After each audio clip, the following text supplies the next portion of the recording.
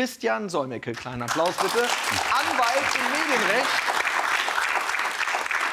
Der uns vielleicht mal ganz kurz erklären kann mit einem Satz, äh, was das für Konsequenzen haben kann. Äh, die Konsequenzen können heftig sein. Wenn man Jura anfängt zu studieren, dann lernt man schon im ersten Semester einen lateinischen Satz, pacta sunt servanda, Verträge müssen eingehalten werden.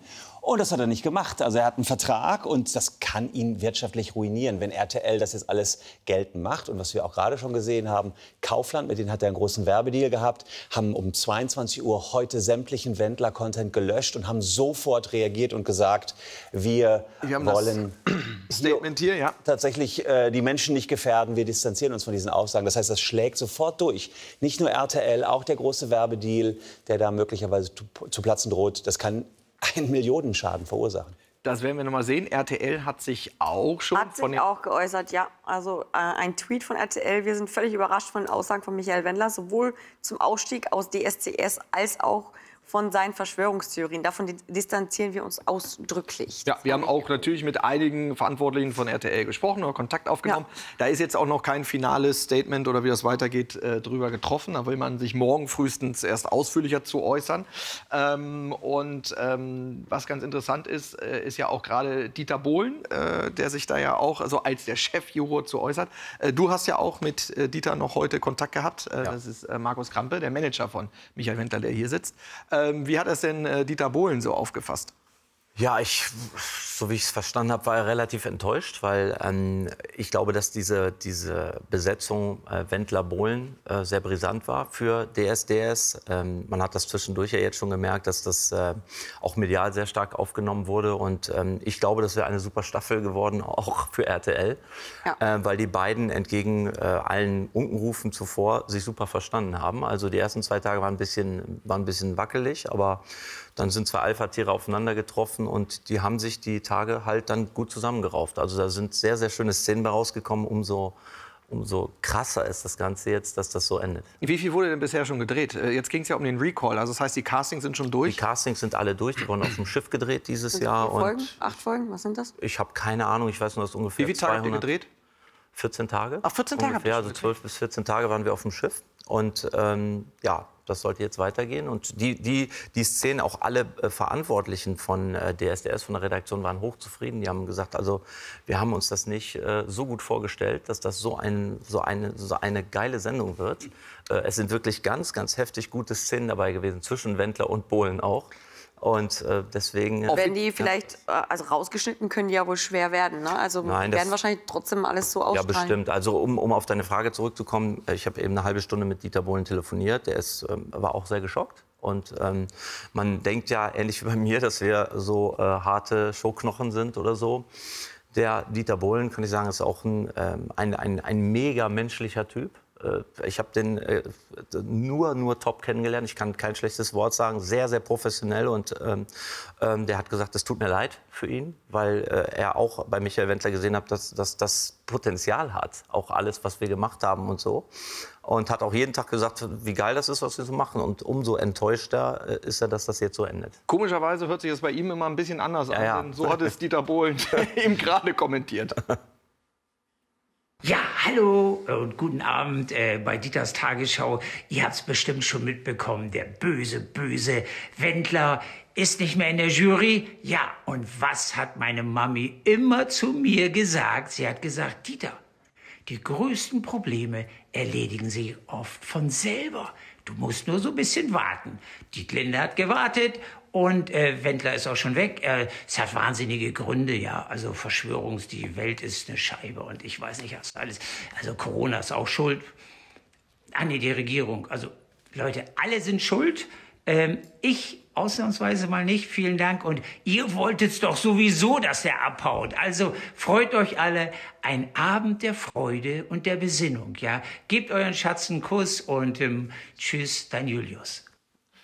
Ich sag mal so, äh, das hört sich ein bisschen anders an zu dem, was du gerade gesagt Ja, hast. äh, Also man wird immer so schockiert und da feiert Ja, das komplett also es- ab. Geil, also weg es- ist er. Also es ist so, dass, dass, ähm, dass der Dieter Bohlen natürlich einmal eine Privatperson ist und einmal eine, eine Person der Öffentlichkeit. Und er, er macht natürlich sein, seine, seine Rolle, die er da eingenommen hat, der, der macht er alle Ehre. Weil Ich- er hat ja noch im Februar gesagt, Dieter Bo äh, Michael Wendler niemals bei mir in der Jury. Mhm. Dann hat er sich rausgesetzt, nicht neben mir, deswegen sitzt er auf der anderen Ecke. Smartes Kerlchen. Ja, aber er weiß natürlich auch, dass äh, das Quote, im, äh, wem sage ich das, alles ist. Im, Du. Äh, und äh, ich glaube, dass, dass äh, Michael Wendler ganz klar von RTL auch eingekauft wurde, um eine große Quote zu machen. Das ist ein Einschaltungspunkt auf jeden ne, Fall. Und das ist, ähm, ja, das werden wir jetzt so oder nicht mehr. Versuchen wir noch einmal mal selber anzurufen. Vielleicht geht er ja ran. Ah, das glaube ich nicht. Das ist Die von Ihnen gewählte Rufnummer ist nicht vergeben. Okay, Okay, Moment. keine, kann dir die Ja, in der aktuelle Zwischenzeit haben wir eine Frage. Warte ganz kurz. Warte, ja, warte ich probiere es noch auf der anderen. Ist das auch? Du kannst ja in der Zwischenzeit versuchen anzurufen. Es, es wurden ja einige Fragen gestellt und jetzt muss man auch sagen, ähm, der Wender hat ja brav Werbung gemacht für äh, die SDS. Äh, wenn das jetzt nur ein PR-Gag gewesen wäre, wäre es trotzdem ausreichend, um zu sagen, Vertrag aus? Ja klar, ich sag mal so, man kann nicht solche PR-Gags im Alleingang machen. Das muss natürlich abgestimmt sein. Wenn das ein Gag gewesen sein soll für die Sendung, wäre es, glaube ich, kein guter Gag gewesen. Also selbst wenn er jetzt sagen würde, war ein Spaß, war jetzt, im Prinzip ist das ja heute passiert. Dass, wenn er morgen sagt, Leute, das war nur ein Gag, 1. April, jetzt im November oder Oktober, äh, kann Dann das ist der rückgängig gemacht Schaden werden? zumindest klein geblieben, wenn er das morgen Ja. wieder rückgängig machen könnte.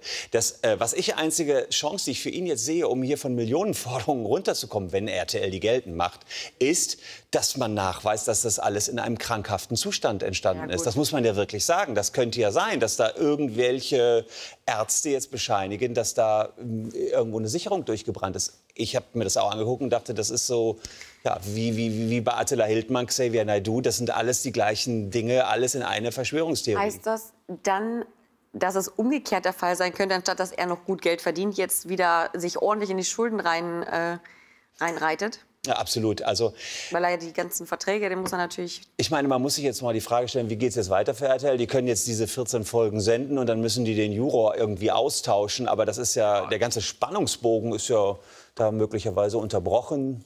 Aber so wird es laufen. Also ich glaube, aus RTL-Sicht, weil es ist ja aufgezeichnet, kann man nichts anderes machen. Also es ist sehr kurios, weil man natürlich eine Jury hat, wo man ihn nicht komplett rausschneiden kann.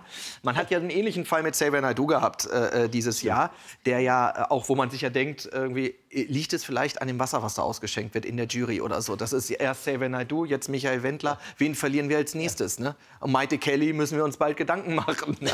Also und die Kelly Family. Aber ähm, da ist es ja so gewesen, hat man ja schon versucht, äh, äh, Xavier Naidoo dann aus den ganzen Rückblicken weitestgehend rauszuschneiden. Das geht ja jetzt so nicht. Ne? Da sind einfach Sendungen aufgezeichnet, die werden im Januar ausgestrahlt werden und auf einmal ist dann Recall und ist er weg. Ja, spannender finde ich ja, dass es jetzt einerseits um DSDS geht, aber Michael Wendler stand ja umfassender bei RTL unter Vertrag. Und äh, man muss sagen, wenn man jetzt in der Art und Weise vertragsbrüchig geworden ist, ist auch das gesamte Konstrukt gescheitert, sodass ich davon ausgehe, dass eigentlich da die Vertragsbasis insoweit zerbrochen ist, dass die nicht weiter arbeiten werden. Das ist denn, was ist denn jetzt mit der Hochzeit? Das war ja so das nächste Thema. Also eigentlich, Markus, was war da? was eigentlich, ist also da? eigentlich so unser Stand. Ja, es war so, eigentlich sollte ja schon in Las Vegas geheiratet werden.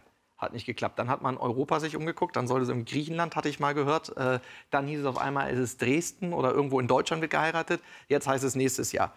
Findet das überhaupt noch statt? Und ist das, oder ist das jetzt zu früh zu sagen? Also ob, ob das stattfindet, weiß ich jetzt nicht. Ob, ich glaube, dass es auf jeden Fall nicht bei RTL stattfinden wird. ähm, und, ähm, Das- also es ist tatsächlich so. Aber war, vielleicht bei Vox oder RTL Ja, die 2. gehören ja alle zusammen. Also es ist Ja, ja, so, dass es ist ja so, dass Nitro wie Sie ist gerade schon gesagt haben, wir einen sehr umfangreichen Vertrag mit RTL haben, der bis Ende nächsten Jahres läuft. Äh, Und äh, da war jetzt auch fürs Frühjahr eine eigene Sendung äh, inkludiert, ein eigenes Format für Michael Wendler. Für die Hochzeit. Nein, ein eigenes Musikformat, Oh. was ab März, April losgehen sollte. Dann wurde die Doku-Soap verlängert mit, ich glaube, 24 Folgen. Also ich will da überhaupt gar nicht mehr drüber nachdenken, weil umso, umso krasser ist das Ganze. Ähm, ja, und wie gesagt, ich wurde eben schon von RTL informiert, von der Geschäftsleitung, ähm, dass sie morgen mit mir eintreffen möchten. Äh, und da kann ich mir schon vorstellen, wie das, Ach, das äh, ist wie das so ausgeht. wie wenn man antreten muss, wenn die Kinder Scheiße bauen. ne? ja gut, ich, äh, also ich glücklicherweise... Kommen Sie mal bitte morgen vorbei. Wir müssen mal über den Michael reden. Ja, vielleicht so ungefähr kann man sich das vorstellen. Also ich meine, ähm, was, was soll ich machen? Ne? Also nee, man ich, muss jetzt. Ich habe meinen Job gemacht. Ich äh, habe versucht, alles bestmöglich zu machen. Und ähm, äh, mir wurde auch kein Vorwurf gemacht. Das muss ich dazu sagen. Die wollen natürlich äh, nur, wir haben die Verträge alle gemeinsam Ja, gemacht. kann man dir ja auch nicht Ne? äh, wirklich machen.